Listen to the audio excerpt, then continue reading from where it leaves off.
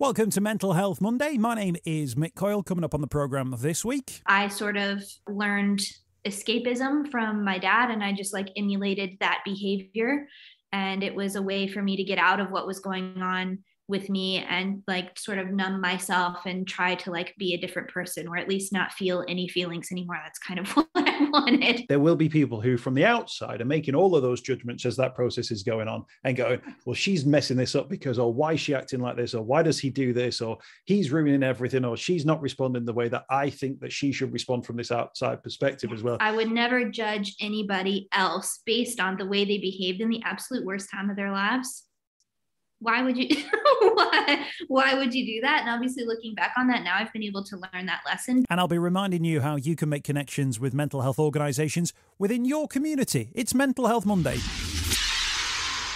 yeah, welcome to the home of the UK's conversation about mental health. It's Mental Health Monday. Once again, thanks for checking out the programme. Another fascinating guest on the way. Lots of signposting in this week's edition as well to uh, various different things that are going on. And as ever, really class that as a really important part of the podcast to make sure that when we do talk about conversations in various different ways, those conversations are actually uh, going in a direction which allow people to hopefully relate to them, find elements within that that can help maybe support them or uh, shine a light on an issue which otherwise you wouldn't necessarily know about. But at the same time, to then find resources that might help you or that you can point other people in the direction of. And we got some really positive feedback last week from our conversation around eating disorders and men. And uh, the Beat website for that one, Beat Eating Disorders, UK charity, really, really great service and resources on there. Not just for men, for anyone who's experiencing uh, anything in regard to eating disorders. There's a helpline that's available from them as well. Last week's edition is available now.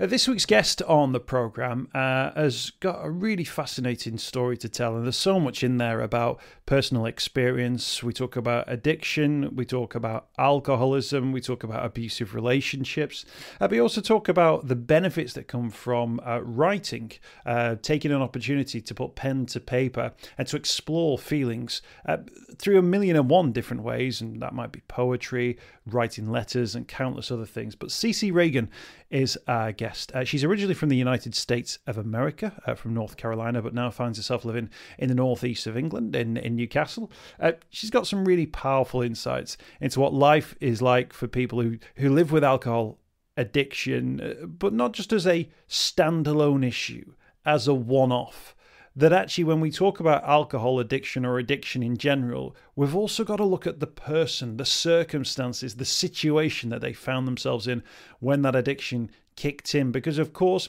there's one thing saying to somebody who's got an addiction, well, stop doing that then. If we don't tackle the wider issues that they've faced in their life or the wider issues that they're facing on a continuous basis, how on earth are we expecting them to be able to move on and to find, you know, uh, healthy and happy alternatives? I think this conversation really sums that up, and I, I, hope you're really going to enjoy it. CiCi Reagan is her name. I, mentioned the website, which I'll mention now. You can get on board with it a little bit later on as well. Write to heal.me. That's right as in W R I T E. Write to heal me. Uh, do urge you to find out some more information about CiCi and the work that she's doing. I wanted to mention as well, a few weeks ago we had Simon Taylor on the program. Now, Simon, uh, a musician who uses his own mental health experience to uh, inspire the work that he does now from a musical point of view. Uh, he sent me a note through, and uh, Simon, it's great to hear you've continued to be part of the uh, the podcast family. Uh, he's got a new mental health themed EP, uh, which will be released uh, this coming Friday as we record this, uh, the fourth of February. It's called Survival, and the theme song, the title song, is about his own experiences of mental health problems, but also he hopes acting as a message for people affected by issues to try and stay strong and to go on and thrive. So, more than happy to give that a mention. I will also point you in the direction of his um, Bandcamp uh, website, where you can find out more information about both Survival and his other music as well. I'll put a link below the podcast for that one. So, thank you for that one. Great to have you part of the Mental Health Monday family, and it's always great when we hear about the great things that our previous guests are doing, the things they're involved in, and how, of course, we as members of the public, the layperson, uh, can get involved in that too. Let's get on to our conversation now with CiCi Reagan. Uh, Write to Heal Dot me is her website. And we started off by talking about her location because, as you will hear, uh, although she's in Newcastle now, that's not originally where she's from. Yeah, so I grew up between like North Carolina and Virginia in the states, which is like on the East Coast, and it's a lot warmer than here. And uh, every like January, I question all of my life decisions.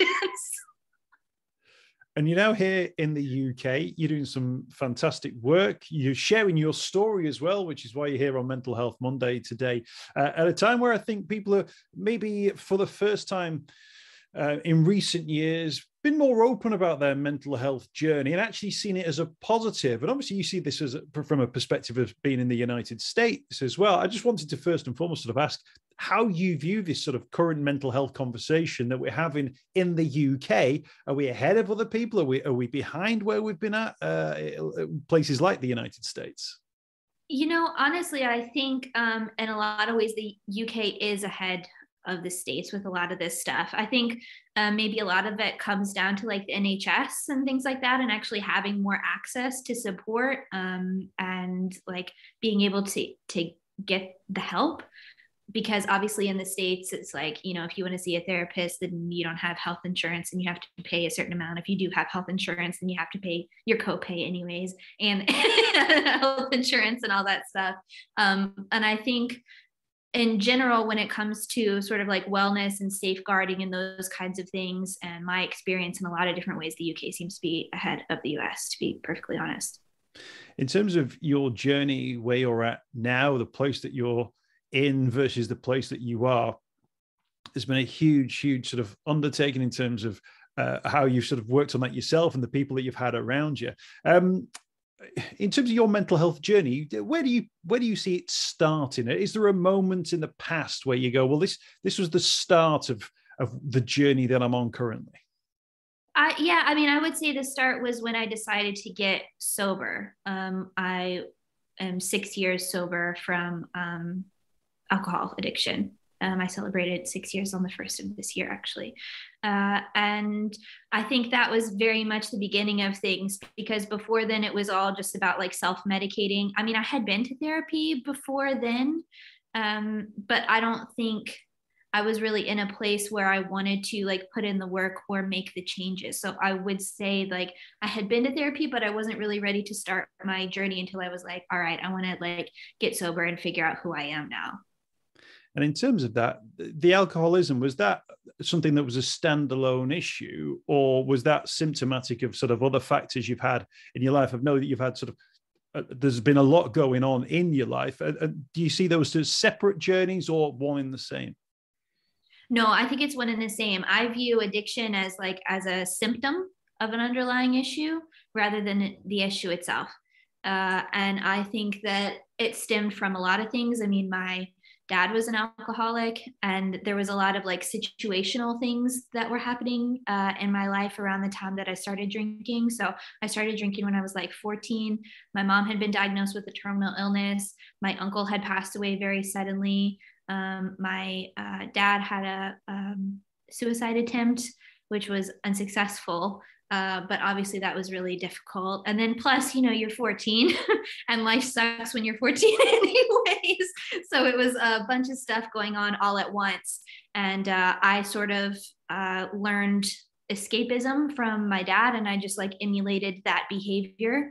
And it was a way for me to get out of what was going on with me and like sort of numb myself and try to like be a different person or at least not feel any feelings anymore. That's kind of what i wanted. So drinking allowed me to do that. So it's all interconnected for me.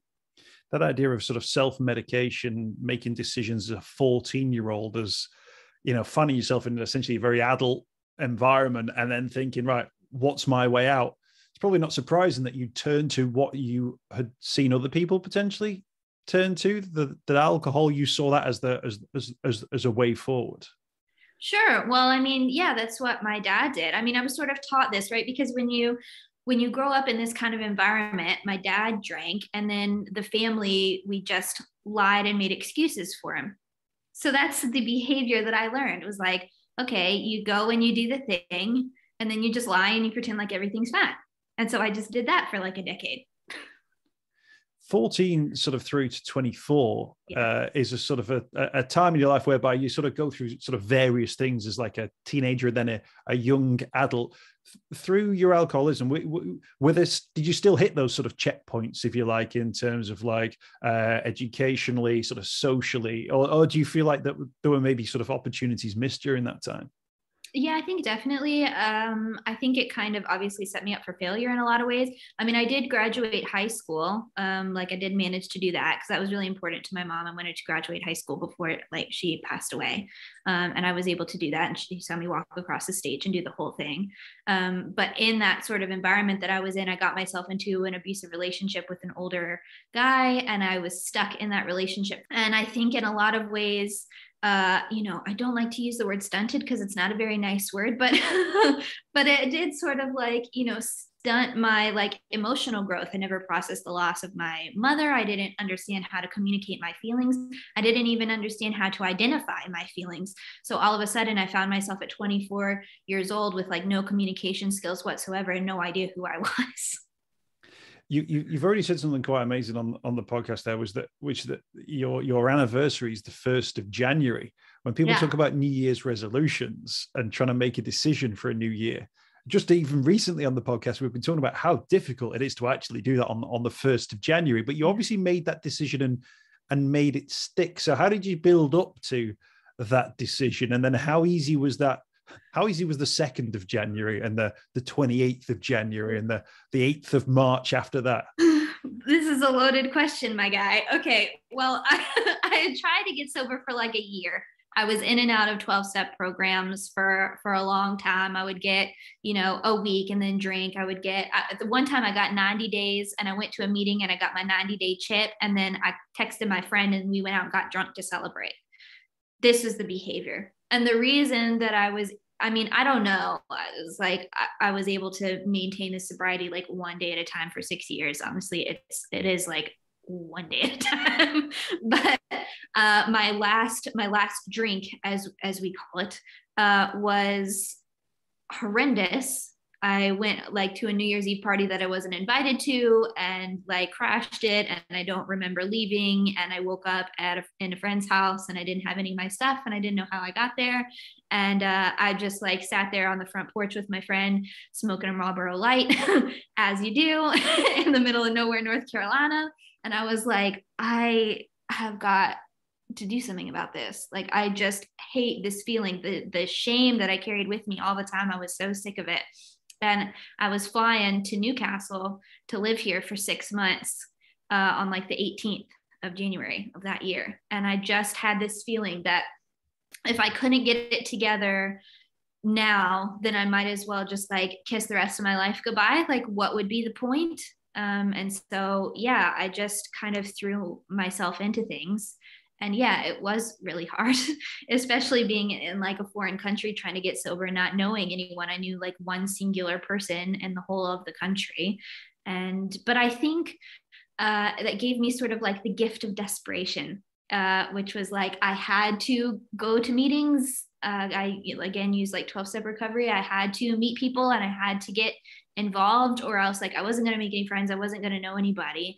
Um, and i was most absolutely going to relapse and then eventually like it you know my addiction would take my life and i didn't want that to happen. Did the fact that you were sort of moving to a new country and sort of all the things that all sort of the i guess the lifestyle changes that come with that did that allow you to sort of reset your own mind as to saying i now live in the uk i don't drink but the rest is essentially an open book you could you could you could arrive in the UK, I guess, and meet people and tell them you don't drink because you, you you're new, and the people could go, "All right, this is CiCi. We will we won't offer her a drink." Uh, did that that sort of break? Did that was that an opportunity or was that a bit of a curse? I, I mean, I, I suppose it would have in that way if I would have been able to like communicate that effectively, you know, because it's like, because it's like, oh, I don't drink. Oh, why? Well, do you mm-hmm. have a problem? Like are you sick? Or are you like whatever? Do you mind if i drink? You know then it becomes this like whole thing which you know i like to make fun of. People is like you know i don't know if you've seen online but it's like people like equate it to mayonnaise or something. It's like you don't like mayonnaise? Why don't you like mayonnaise? Do you mind if i have mayonnaise? Like it's very very silly but it's sort of like I didn't know how to articulate that. I didn't know like was I just going to say like I'm an alcoholic. Now I say that because I really enjoy making people uncomfortable and I got to get my kicks where I can. And I do. but in those very beginning stages, like I don't know. And actually, alcohol was a lot easier to get here because it's in like every corner shop. Whereas back in the States, you had to go to like a special, like government run store to get liquor, which is obviously what I drank, the art stuff. Because, you know, of course, Obviously. You've, you've, but you've arrived in a country. I mean, Newcastle itself is is is sort of sometimes known a little bit as a as a party town, but I think there's very much a culture in the UK that like it's wine o'clock, and mm. it's sort of like the kids have gone to bed, glass of wine, sort of culture. Oh, that's almost, I would say, is probably almost like the aspirational lifestyle for adults. Yeah. In the UK, the normalization of alcohol is absolutely, you know, everywhere. And you know, you you tell anyone who's ever gone to like a barbecue, a wedding, a funeral, and you say, "Not for me. I'm not drinking." For whatever reason, it might be you might be working, you might be driving, you might be an alcoholic, you might be doing it because you're on antibiotics. You are always met with this. What? What? They're not mm. drinking. And, and part of me thinks that it's just because it's so normal that people think, well, why aren't you doing what everyone else is doing? But I think the other thing is that sometimes people realize that they probably also maybe shouldn't drink as much as they do. So when they when they find someone who's actually knocked it on the head completely, there's almost like, oh, I should be suspicious of this mm. person mm. because they've probably done the thing I think I should probably do. And I'll try and make them feel bad because then it'll make me feel better about how I feel about myself. Mm yeah, I think I've definitely found that to be true, even within my own family. You know, sometimes you just like serve as a mirror that nobody wants to look in. When you when you when people look in the mirror, do you do you get a sense there's judgment on things that you've experienced, or when the the the, the the sort of stigma that comes from the phrase alcoholic or alcoholism do you do you see that in people? Do you recognize those, those telltale signs that, that that their brain is processing maybe something about you? Sure, sometimes, but a lot of times it's fun to watch sort of like the cognitive dissonance happen. It's like, wait, I thought that alcoholics were only like like dirty old men under bridges drinking like liquor out of a out of a, you know, container like a you know what I mean, like out of a bag and, and you're like and I'm standing there at like a business networking event. like I'm an, I'm an addict, you know, it's like, what are these two things? And that's why I like to be so like upfront about it. And I'm just like, you know, this is who I am because there is such a stigma around it. And yeah, I suppose sometimes I do get the judgment and things, but most of the time people are like, that's kind of cool like tell me more about it. Or they'll start to ask me questions like how do you know you're an alcoholic? What made you stop? Like how do you can you tell and i'm like if you're asking me that question you already know the answer. Sorry not sorry. Uh, um in, in terms of when when when you hit sort of sobriety and that that sort of day by day process that you talked about can i you like when you talked about the things like the, the abusive relationships that you found yourselves in, of course, the, the grief that you were dealing with as well, was there a point where you thought, right now, I need to process some of those actions? I need to process some of the traumas that I've experienced. Is there a day where you suddenly go, no, maybe, maybe today's the day, or is that a process that you can begin and explore over a period of time, as well as dealing with that sort of day to day functionality? Yeah, I mean, I think uh, it's important, like when you're making any big changes like that, to create some sort of like foundation for yourself where you can like let me take care of my basic needs. You know a lot of times you're like you're like jonesing or whatever you're still having like cravings for alcohol you know that kind of thing. So it was like try to sort of get that under control and then like okay let's do a little bit more of the internal work. And it has definitely been like a, a process. I mean, through 12 step recovery, you do literally the 12 steps. And part of that is uh, step four is a searching and fearless moral inventory where you turn your entire life and everything bad that's ever happened to you or that bad that you've done to other people into a literal spreadsheet and then share it all with another human. That's terrifying. Uh, so, yeah, it's definitely a process. And and in terms of that, did you the, the learning process of sort of reopening that book or putting it down into an Excel spreadsheet? Did you was it was it difficult sort of straight away to do it, or did you see the benefit benefits of it quite quickly because I sometimes get a sense where people are dealing with things that have happened in the past, they almost don't want to they don't want to peek into the book for fear of what's to come. But then, yeah. how, how, much do you open the book? I'm sort of doing this with my hands here. Uh, uh, yeah. how, how much do you open the book before you suddenly go, okay, yeah, I can I can look at this with one eye. Right, let's let's start to read it a little bit this is the thing i think it depends on how you do it um, and i think the the way i did it is not necessarily how I w- would encourage other people to do it not to diminish 12 step recovery in, in any way but uh, the way i did it was like was very very intense um, and i didn't necessarily like give myself the time or maybe the support that I needed or even know that I would need it that much. I didn't understand like quite how re-traumatizing it would be. And obviously this depends on kind of like where you are and your own stuff and that kind of thing. But um, you know, to to lay everything out in your in your life like that in some sort of like quantifiable thing where you could like give everything a score and then add it up at the end. Uh, you know, it's maybe not maybe you don't need to do that. I think we can look at, at things that have happened to us, but we don't need to necessarily rehash the details of the event itself.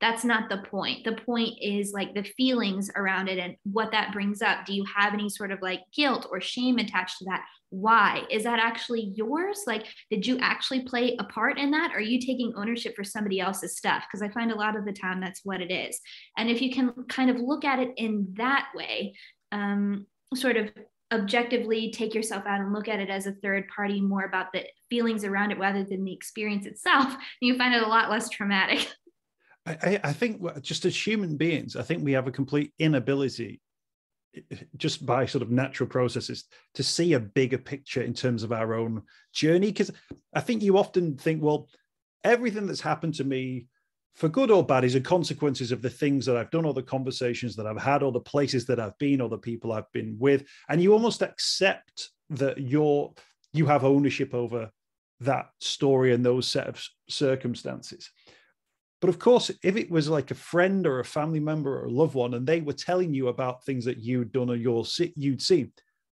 you the advice that you would give to them or the things that you would say would be completely different as well. And I wonder whether or not, and I'm not advocating that we have this sort of like self-reflective time, but I think as part of that, uh, the way we deal with our own lives, that's got to be built in, hasn't it? To to sort of look at, right, well, that happened to me how did I cope with it? What were the circumstances around that? How was I feeling at the time? And why was I making those decisions? I think if we give ourselves that time for sort of reflection, it allows us just to see a little bit more perspective. And I think it would then allow us to then, when we make steps forward in the future, make more educated steps, if you like, to, to give it a well, I, I'm making these decisions based on the whole of my experience, not just the thing that happened the day before, the day before, the day before that. And I think that would just in, in everyday life, that could be huge, I think, for a lot of people if we take the time to sort of comprehend that. You know, we don't have to go through the full maybe Excel spreadsheet, but but no, Excel's not great to work with. Let's let's try let's try Google Sheets. I don't know. Yeah. But that thing of, of of just going right. Well, why did that happen? How did I respond? Why did I respond that way? Would be that's that's huge, isn't it?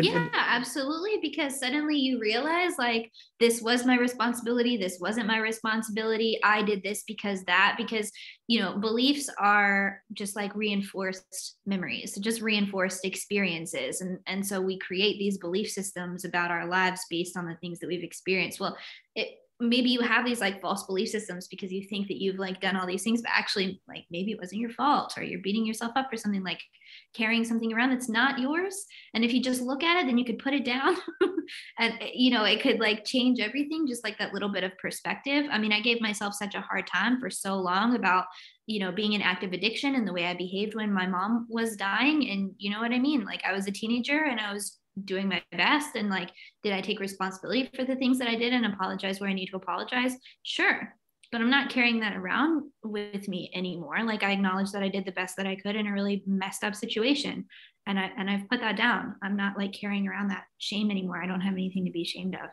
And of course, from a, from a society point of view, and I, I don't know if this was the case with you, there will be people who, from the outside, are making all of those judgments as that process is going on and going, well, she's messing this up because, or why is she acting like this, or why does he do this, or he's ruining everything, or she's not responding the way that I think that she should respond from this outside perspective as well.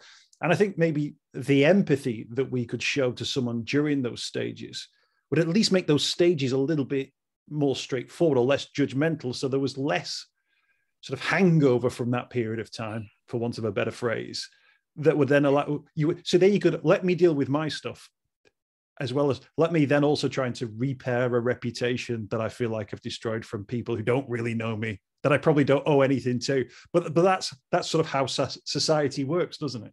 Yeah, but even people who do know you, I mean, it's a lot of times, obviously, it's the people who are closest to us who like who we hurt each other the most. And there was a lot of that, you know, as a kid, it was like, how dare you be having all of these issues while your mom is dying? Like, we have enough to worry about, and so does she. Like, how dare you have problems?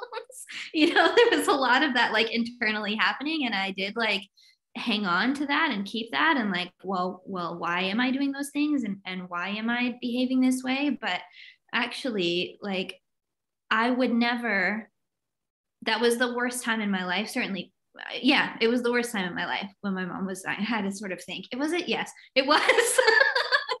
uh, obviously, it was. And I would never judge anybody else based on the way they behaved in the absolute worst time of their lives why would you why, why would you do that? And obviously looking back on that now i've been able to learn that lesson. But i think sometimes when we don't experience things for ourselves or a lot of people still don't understand addiction or or even like you know like mental health diagnoses and things like that why people behave the way they do we just have our idea of the way that people should behave and how dare they not do that. And if we don't see it for ourselves or experience it for ourselves we tend to maybe not have that perspective when they're in the worst circumstances, that is potentially the point where they need the most support. That's when they need the most empathy. That that's when they need the arm around them that helps them back on that path. Then you can judge them. You know, let's judge people instead when they're on the even playing field, when they've got the opportunities in front of them, and when they're doing it for a, for a, for a positive reason, rather than this sort of judgment that comes from going, well, when this was going on, you weren't really, or when that was going on. Of course they weren't, because they were experiencing the same, you know, trauma that you were, or or they were having it worse at the time, or you know, God forbid, you don't have a clue what they were going through. You're just making a judgment based on something you're viewing from the outside, which actually means absolutely nothing, but it's just really unhelpful. But it might make you feel better about yourself. And we kind of do that as well, don't we, as human beings? Yeah, absolutely. I mean, we need people around us who will like who will see us for who we are and call us on our stuff, but also people who will like you know support us and be like what you were saying earlier about the way that we think about ourselves and talk to ourselves is is not how we would talk to our best friend. We need to have those people around us who will be like hey you're having a really hard time right now. That's okay. Like hey you kind of are struggling and you made maybe not the best decision I still love you. Like just until we can get through it, you know, just somebody to sort of like hold our hand and, and like walk across whatever that, you know, that bridge is with us until we get to the other side. Absolutely, absolutely. Uh, we got CiCi Reagan with us uh, on the program today. Uh, let's let's talk about uh, Write to Heal. Write to Heal.me, by the way, is the website where people can go and find out more information uh, about the work you're doing at the moment. Um, writing, um, poetry. I think you do a bit of haiku that's thrown into the mix as well. When did you, in terms of that journey that we've talked about there, at what point did you start writing things down and then thinking, actually, this this this feels like it's good. This is this is putting me in a in a good place. You know, always actually. Um, I feel like I've I've always written. Um, my my dad wrote like bits, and uh, I, you know, I still have like I have an Anne of Green Gables journal from when I was like 11, 12 years old. I've always sort of like journaled and written things down. Um, I just like being creative in, in that way. And it's sort of always been, you know, even if there was like nobody to talk to or, or nobody to listen, or I didn't necessarily know how to even communicate what I was feeling, I could always sort of like write things down and explore. And there was no judgment in that because it was just me and my pen and my journal. And that was it. and if I wanted to rip it out and burn it after and nobody ever see it, then I could absolutely do that. Um, and if I wanted like a friend to read it, then I could do that too. Um, uh, yeah, so it's always been something that I've done and done like, you know, little poetry readings and things like that as I've gotten older, you know, like creative writing classes and the literary magazine in high school and all that stuff. Like I've just always loved it. Um, and then in recovery from addiction, it's been like instrumental in my healing. I mean, I credit writing with saving my life like on multiple occasions. So, um, yeah, it's like it's sort of transformed with me as I've needed it to, I suppose. I mean, that, that's that's huge, isn't it? And, and and what a great thing that you were able to sort of have that in your life or to have that avenue to explore. And in terms of the sort of community that you you've built around this as well, um, the, the testimonies online are, are really strong in terms of like how people have sort of interacted with you and the difference it's made to them. What are those sort of things that you say to people that that that allows them to sort of open up on a on a piece of paper or with a pen or on a a tablet or how, however they they choose to write. What are those things that that that that uh, allow you not just to put things down, but to sort of improve that that mindset and to sort of get those thoughts ticking over in a way which allow them to sort of reset themselves and uh, what's the phrase used to have for Windows computers? Defragment. Ah, yeah. Um, I mean, I just I think honestly, for a lot of people, it's just knowing that they're not on their own you know suddenly they they join the community and and and it's all different people. I mean i serve survivors of addiction abuse and trauma and trauma you know really sort of runs the gamut of things. So there's all sorts of people in there that are like recovering addicts like me um, and then people who have been through like abusive relationships like me or, or other things and but the, we're all here for the same reason you know what i mean? That we're all there to like find healing and and explore like who we are and like you know give ourselves the the space so to speak to figure out who we are. I'm doing air quotes. Everybody says space. Uh, so it's a little bit like i need new words now because i'm annoyed that everybody's overusing all the words. But anyways i'm a writer. I'll, I'll find new yeah. but I think that's a lot of it, honestly, is just knowing that like you're not alone in your experiences because when we're going through things and then we feel like we're the only one who's going through that stuff, it can be really easy to like judge ourselves and feel super isolated. So, first of all, it's just like knowing there are other people who accept us uh, for exactly who we are. And then also, kind of goes back to what I said earlier about like asking questions and giving yourself the the room not just to like okay I'm going to write about this and whatever and just rehash our trauma but like you know write a letter to yourself like how you actually talk to yourself. And then let's like deep dive into like maybe why you feel that way. And then at the end maybe write another letter and it might sound a little bit different. And you know just kind of reframing experiences. And do a lot of things like what are you struggling with right now? It's like hanging out in your brain that you can't really get rid of. And i don't do like the toxic positivity thing. I, I hate that. If you feel a feeling then you feel it for a reason and you should explore it. But there's always another side. We can give ourselves the gift of perspective you know and a lot of times that could be writing things down objectively but it could also be like okay uh, i'm going through this at the moment what is it teaching me? And what is the other side of that? So like i haven't spoken to my father in six years. On the other side of that is i surround myself with people who love uplift and support me. So this sort of thing and just giving people like the room to do that and just to be honest i think that's really all it takes. It's it's not that complicated. I wish it was uh, but it's not. You, you, could charge a lot more if it was more exactly. complicated. No. And, and in terms of i guess as well I, I, I wanted to ask you in terms of the the sorts of things that people want to explore. Have, have you been have you been surprised by the types of things that people have found either triggering in terms of you know uh, memory memories that they have from the past, things that they things that they feel like they need to deal with. As you say, there's a whole range of different people, but then there must be times where people start going down an avenue. You think, all right, I, I never thought of that perspective before, or maybe I, will think of a different strategy for for this because you know their experience is maybe a little bit different. Uh, well, I'm fortunate enough to have collected lots of different experiences over the course of my life. So there's not very many things that people can say to me that surprise me.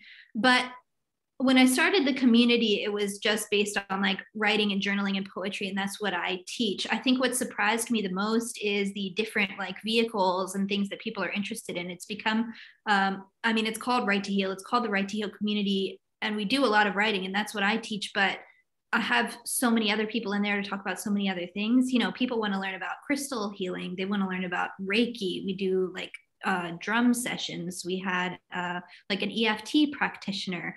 Uh, you know, we have so many different things and so many different people come in because people come into this this space they know that it's safe and they can explore and they're like i want to learn about this weird stuff that's going on bring somebody in and talk about that you know um, I I get suppose uh, more people are interested in like the body positivity side of things than I had originally thought. Maybe that's surprised me a little bit as far as like what people want to explore a bit more. We do a lot of stuff about like self love and things like that, and I do a lot of like body positive stuff on like my Instagram and things that people really like. So um, I am like diving into that a little bit more.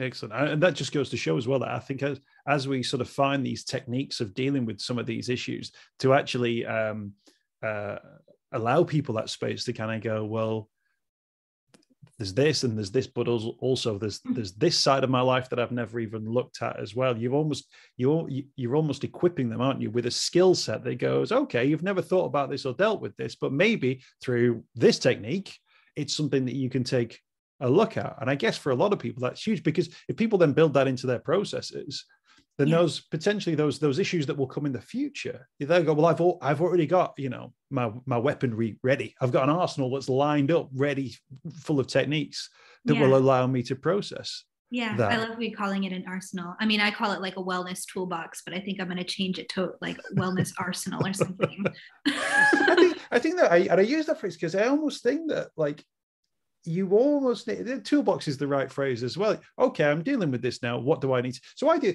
I do this now. If I feel terrible, if I feel for some reason, if I just feel terrible, I have this sort of my arsenal is right. Did I stay up too late last night? Have uh, have the kid? Did the kids sleep through the night? Um, did I drink too much the night before? Have I eaten well recently? Have I been out for a run recently? Have I done a bit of gardening recently? When was the last time you played the ukulele? I almost I have like a checklist in my head, which basically just looks at all of those things, which in and of themselves, any one of them is not necessarily a problem. But if two or three of them start to add up, you start to go, that maybe that's, and what I can then do, I go, oh yeah, it's fine because the, I've ticked three boxes there and I can, and then as long as I then do a couple of those things, it then allows me, my brain then accepts that as oh, uh, as you've got a solution. Like yeah. it's okay, you figured out the problem, and you also know what the solution is, so we don't need to worry about that as much. Which I, th- I feel like is a, is a good place to be. But I've had to have 233 previous conversations to this one to sort of have enough understanding of what what that would be and how that would look and, and where that might possibly take me as opposed to sitting in a classroom with 11 well 8 8 9 10 11 year olds and going these are the things you might have to deal with when these things come your way here are some things you could try mm-hmm. i feel like we need to go to that place that those sorts of things that we've talked about there you know that that CiCi comes into a school and you know talks through you know what a poem could mean or how you might write words down in a way which is beneficial to you and then for the people around you as well. I think that's a really, really important thing. And I think as well, it would, it would, it would save a lot of stress for a lot of people, as well as all of those other things around, uh, you know, NHS time and and uh, you know yeah. government money that would need to be spent if we just invested in these sorts of techniques, the sort of things you're talking about. That, but but earlier on, particularly yeah. with young people. Yeah, I mean, I wish I had had this stuff. I wish I'd had somewhere to go or some sort of like knowledge. But I mean, you know, it wasn't that long ago that I mean, I'm 30, but it wasn't that long ago that I was in high school and and self-care was not a thing. We didn't talk about that. We weren't talking about like mental health. We weren't like, you know, you go on TikTok now and you can learn all kinds of stuff about like how to organize your life better if you have ADHD. Like there are so many different things and and so many more like easily accessible resources now whereas like it wasn't even in the conversation before. But something like you know working with young people and, and going into schools and speaking and stuff like that is something that i would really love to do because i agree with you. I think if we can teach people these skills at, at like a, a formative age then they'll be much more equipped as they sort of like go into future life to be like, oh, I'm feeling this feeling because of this, and I know how to communicate effectively because of this. the end. And then it can be done instead of being some sort of like spirally thing that sets them off some weird path. I'll point people in uh, the direction of your website again, CiCi, if that's okay. Uh, write to heal.me. That's right, W R ITE, uh, to heal.me. Um, and there's a word that appears on there. I just wanted to ask you to just to wrap it up the metam- metamorphosis. I knew I'd say that wrong. metamorphosis. Uh, I just wanted to get your sort of the, your your sort of take or your understanding of that word because I think sometimes people presume you know it's the it's the you know the uh, the caterpillar that turns into a a butterfly. Mm. And and people always see that as the almost like the ugly duckling where things were bad, then things were beautiful like the next day. But there's that slightly mm shriveled brown period sort of in between isn't there where, where everything goes a little bit dark for a little bit before the butterfly emerges from the the chrysalis is the word I'm, I'm trying to think of. Yeah i mean the caterpillar like when it goes into pupa stage and like beyond it literally turns into mush. It is just goo and then it becomes something else uh, you know the the idea of like this phoenix rising from the ashes or or this like butterfly thing or whatever is is a beautiful metaphor and i really do love it and that's why i've used it. But it's the integration of the past rather than like completely shedding it and becoming becoming something new. You know we can accept the things that happen to us and and understand and acknowledge and, and all of those things and and forgive others and forgive ourselves and make that a part of of who we actually are. It doesn't need to define us but the acceptance of that is is what's so important and that's what allows us to actually go through the transformation. And it does take more than a day but it, it is absolutely worth the time and effort i think it's really worth a great point worth making there because i think that thing of the butterfly is still the the sort of it's everything the caterpillar was. It was everything the caterpillar did. It was everything the caterpillar ate. It was every, everywhere the caterpillar decided to sleep. You know, th- those were very much the factors that, that then allowed this next thing to happen. And it really sort of, it really sort of adds, doesn't it, to that that wider story that we were talking about about our own journeys ownership of our own journeys, but also being able to sort of see and contextualize them to then allow us to, to look forward or to see the world from a slightly different place. Plus, it would be great to have massive wings and then just be able to fly. I know. Who doesn't want that, right? I'll, I'll work on that one next for you. I'll keep you posted. absolutely, absolutely. In the meantime, we'll just get some Instagram filters or something like that. I think yeah. there's probably already one there. Uh, CiCi, thank you so much for your time today. I really appreciate it. There's so much to your story, and I think um, so much that people will pick up from from Write to Heal, the what you've done so far, the community that you've you've got online as well. Put all the links on the uh, uh, on the uh, the podcast too, so people can get more involved. And and thank you for sharing your time. Uh, enjoy uh, the rest of your time as well in the in the northeast of of England. I'm sure it's very different to, to North Carolina, but you picked a great spot there. Thank you. Yeah, I do love it here. Thanks so much for having me. It's been a pleasure. I hope you've enjoyed this week's podcast. Thanks for checking out Mental Health Monday. My name is Mick Coyle. You can find me on Twitter at Mr. Mick Coyle. You can also find me, Mick Coyle, on Facebook as well. Don't forget, if you want to speak to somebody about your mental health, you can do so. The Samaritans, uh, free to call on 116 123. You can find mental health services where you are. Just look for the Hub of Hope, type in your postcode, it'll find those mental health services close to you. And for support in a crisis, you can text SHOUT to 85258. That's if you're experiencing a personal crisis, uh, you're unable to cope and need support. Uh, shout to 85258. That's a text line. Do get involved in those services. In an absolute emergency, always remember the number to call is 999. Thanks for downloading the podcast this week. We'll be back next week with more Mental Health Monday.